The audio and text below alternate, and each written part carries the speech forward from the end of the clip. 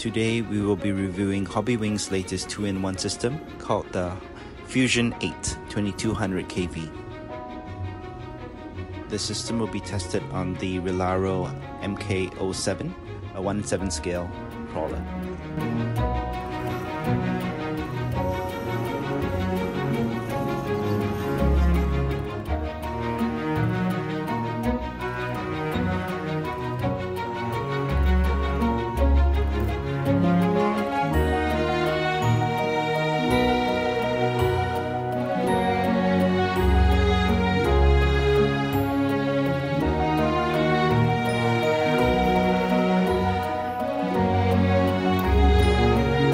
Fusion 8 can be programmed by the Hobbywing LED program card and has all the features of the Fusion Pro with the addition of 4S LiPo and 8.4 volt BEC.